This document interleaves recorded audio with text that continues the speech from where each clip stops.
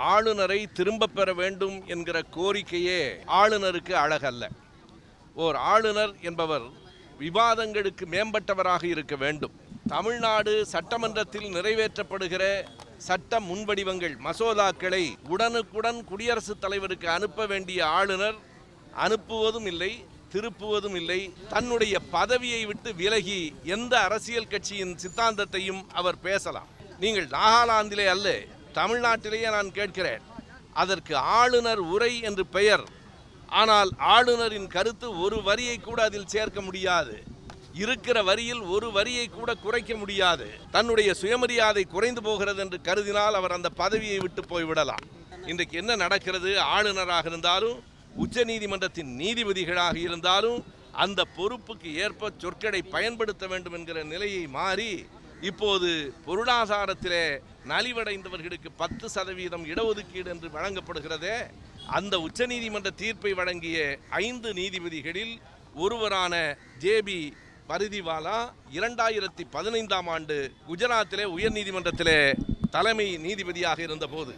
இந்த நாட்டை அடித்து கொண்டிருக்கிற அச்சுறுத்துகிற சக்திகள் லஞ்சமும் இடஒதுக்கீடும் தான் என்று எழுதிய ஒருவர் எப்படி நியாயமான தீர்ப்பை வழங்க முடியும்? நீதிபதியாக இருந்தாலும் ஆளுநராக இருந்தாலும் குடியரசுத் தலைவராகவே இருந்தாலும் அவர்கள் எல்லோருக்கும் உண்மையானவர்களாக அரசியல் சட்ட அமைப்புக்கு உட்பட்டவர்களாக விளங்க வேண்டும். ஆளுநர் ரவியை ஒன்றிய அரசு திரும்ப பெறவில்லை என்றால் நாடு முழுவதும் ஆளுநர் ரவிக்கு எதிரான ஆர்ப்பாட்டங்கள் கண்டிப்பாக நடந்தே தீரும். திரும்ப பெறு திரும்ப பெறு. ஒன்றிய அரசே ஆளுநர் ஆர் என் ரவியை திரும்ப பெறு. திராவிட இயக்க தமிழர் பேரவையினுடைய துணை பொதுச் செயலாளர் தோழர் சிங்கராயர் அவர்களே ஆயிரம் விளக்கு சட்டமன்ற தொகுதி உறுப்பினர் மருத்துவர் எழில் அவர்களே திராவிட முன்னேற்றக் கழகத்தினுடைய தோழர்களே திராவிட இயக்க தமிழர் பேரவையினுடைய பொறுப்பாளர்களே நண்பர்களே பொதுமக்களே ஊடகவியலாளர்களே உங்கள் அனைவருக்கும் என் அன்பு வணக்கம். இது அழகல்ல ஓர் ஆளுநர் என்பவர் விவாதங்களுக்கு மேம்பட்டவராக இருக்க வேண்டும். இன்றைக்கு குடியரசுத் தலைவரிடத்திலே போய் ஆளுநரை திரும்ப பெறுங்கள் என்று கேட்க வேண்டிய தேவையை நமக்கு ஏற்படுத்தி இருக்கிறார்கள். என்ன காரணம் என்பதை இப்படி நான் வகுத்து சொல்லுகிறேன்.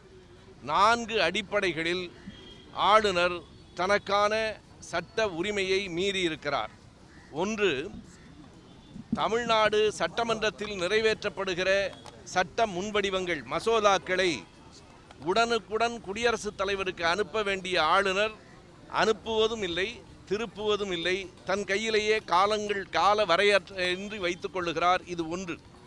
பல்கலைக்கழகங்கள் அனைத்திலும் உட்புகுந்து வேந்தர் என்கிற முறையில் பல்கலைக்கழகங்களை தான் கைப்பற்றிவிட வேண்டும் என்று நினைக்கிறார். அது இரண்டு. மூன்றாவதாக தன்னுடைய சொந்த அரசியல் கருத்துகளை சித்தாந்தங்களை வெளியிடுவதற்கு ஆளுநர் பொறுப்பை அவர் பயன்படுத்திக் கொள்ளுகிறார். நான்காவதாக ஆளுநர் மாளிகையை சனாதன கூட்டங்களுக்கு இடம் கொடுக்கிற இடமாக மாற்றியிருக்கிறார். இவை நான்குமே அரசமைப்பு சட்டத்திற்கு மீறியது முரணானது.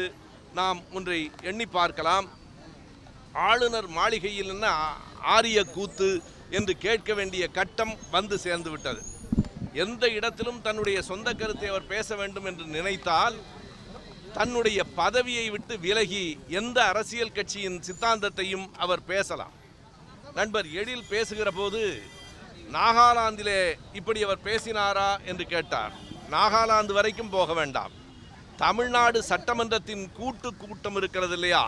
ஒவ்வொரு ஆண்டும் நிதிநிலை அறிக்கைக்கு முன்பாக நடைபெறுகிற அந்த கூட்டத்தில் ஆளுநர் உரை நிகழ்த்தப்படுமே அந்த ஆளுநர் உரையில் என்றைக்காவது எந்த ஆளுநராவது அரசு எழுதி கொடுத்த உரையை தவிர தன் விருப்பப்படி ஒரு வரியையாவது பேச முடியுமா? பேசியிருக்கிறார்களா?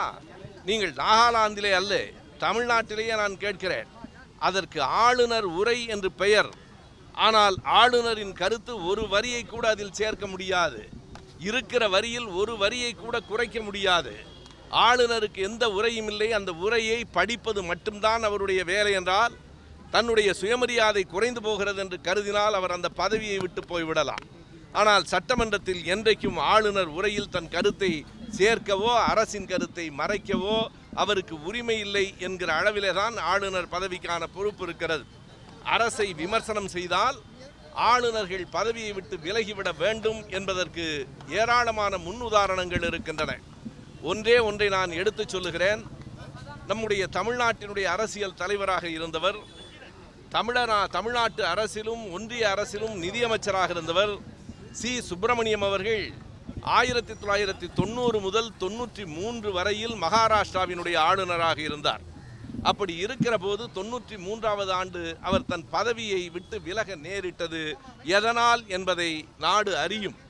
அவர் ஒரு கூட்டத்திலே அல்ல சட்டமன்றத்திலே அல்ல கருத்தரங்கத்திலே அல்ல.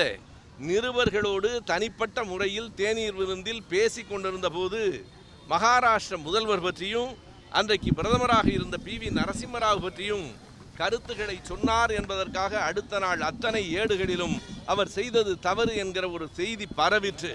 அவர் சொன்னார் நான் தனிப்பட்ட முறையில் பேசிக்கொண்டிருந்தேன் இருந்தாலும் அது நாடு முழுவதும் பரவிவிட்ட பிறகு நான் தொடர்ந்து ஆளுநராக நீடிப்பது இந்த பதவிக்கு பொருத்தமானதல்ல என்று சொல்லி ஆளுநர் பதவியிலிருந்து சி. சுப்பிரமணியம் விலகியதை இந்த நாட்டின் வரலாறு அறியும்.